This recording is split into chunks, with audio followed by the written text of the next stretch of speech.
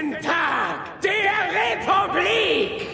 Wow, I'm the first Asian president, also the first blind president. That's the same thing. So what's the first thing you'll do as president? I'm going to decrease everyone's taxes. Wow, how are you gonna do that? By getting rid of the US military. But we need the military. Why do we need them if we can just nuke everyone? That is actually a good point. Then I'm going to build a wall to keep all the Asians out. Why would you do that? To stop the spread of COVID. Wait, but isn't that racist? President Ding Dong, North Korea is invading us right now. Oh my gosh, how could this happen? Cause you got rid of the military, you idiot. Don't worry, I will nuke them all. Wait, no, don't.